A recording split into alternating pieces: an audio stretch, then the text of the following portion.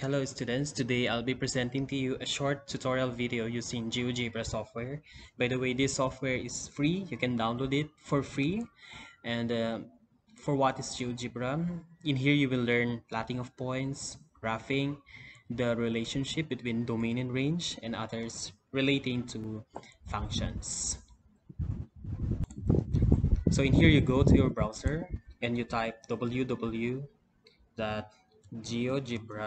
www.geogebra.org for you to enter to the website okay once you enter to the website you can turn off your data you can turn off connection to the Wi-Fi because this one will go even without data already now click start calculator so in here we are about to enter the graphing um, view already so this one is the XY plane in here you see the input portion of it so there you go. These are the tools. So if you click this one you are trying to input. When you click the other so there you go. You can see some um, relevant ideas. More on geometry the lines circles. Yeah, you have angles here. So you can try to navigate circles uh, conics parabola hyperbola ellipse and others. When you click this one okay. So others will exist in this portion. Now we go to the input part so when you click this one automatic this will exist in your um, screen okay? Let's say we try to plot a point. So we click this one then let's say for example negative 1 negative 2 as the coordinates of the points GeoGebra will automatically assign that point coordinates and that will be point A okay? So you see it is found in on quadrant 3 another when we try 9 uh, 191 so coordinates then uh, when we go here we can try to zoom it out or zoom in let's see. So there you go. Point B is found on quadrant 1 so that is how easy we do uh, plotting of points using the GeoGebra software. Say for example again 10 5 and that is C point C 10 5 so there you go. That is 10 5 that is plotting of points using GeoGebra. Okay now after plotting these points, you can actually hide the points. You see this portion, you can click that. So these points will be hidden already. When you click it again, then the point will exist again. Okay, now let's say for example, we would like to have a graph of a particular function. Let's say f of x. Oh, let me f of x is equal to 4. So there you go in the graph of a constant function f of x is equal to 4 so when you click that graph you can change the color that you like. Let's say that that color you can uh, highlight it more. So there you go. So that is f of x is equal to 4 that is a horizontal line right? So what about another function? Let's say g of x is equal to x plus 2 so this uh, blue line here represents linear function g you can change the color again if you want. Highlight it again. So there you go. That is a function g.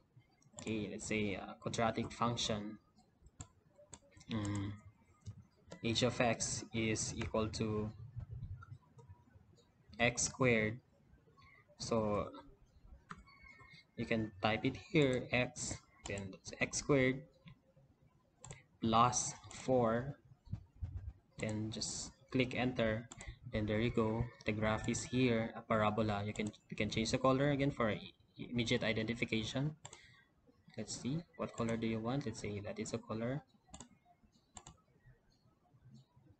Okay so that is a parabola. You can highlight it again. There you go. Okay you, we can hide the two functions and try to observe the parabola. When you click this portion the lowest portion the lowest part of the graph you can see extremum extremum or that means the minimum point. The minimum point is 0 4 and that represents a vertex of, of a parabola. Now these graphs you try to explore more you do graphing. Let's say for example you will not name the function you just simply type y is equal to x uh, a cubic function let's say x raised to 3 y is equal to x raised to 3 Now GeoGebra will automatically assign the name of the function. It named it p, function p, representing y is equal to x cubed. So when we click these first three functions here, the function, the cubic function is here. You observe that function, you can zoom it out and observe what's happening to the function. So there is a connection upper, lower, and it seems like the function, the graph of the function is infinite there's no chance that the graph will be divided, will be cut by a particular vertical or horizontal line. So that is a polynomial function, right? Okay. Now, these graphs of functions, by using the GeoGebra, we can visualize immediately because we are referring to the new normal. So we will automatically have the graphing of these functions. Okay. Now, maybe your question is, can we move this graph can we change the position of this graph? What if we change the position of this graph? What will happen? You click the graph, then right click, unfix the object. You click this, then you can now move the graph. As I'm moving the graph, observe the equation here on the left side. Isn't it changing? Okay, you observe it, it is actually changing.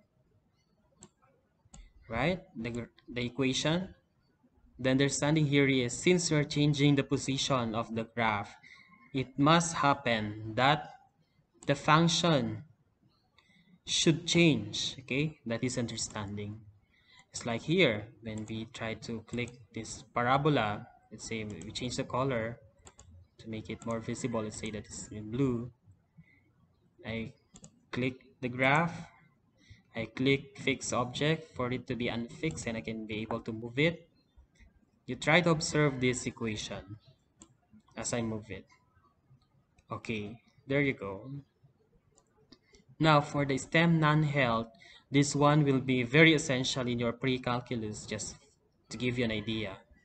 Changing the position of the parabola will change definitely the equation. So if you observe here, h of x is equal to the square of x plus 10 minus 8.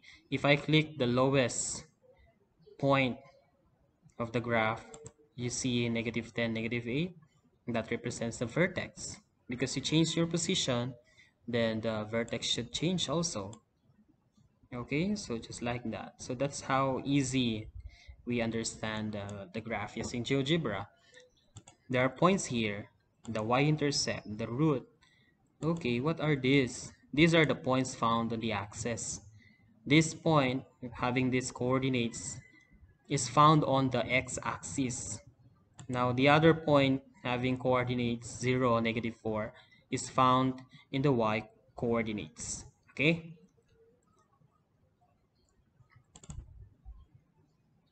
Now if this is the graph of a particular function, your question maybe is, how can you able to determine the domain and range of a particular graph? and that will be our next video okay?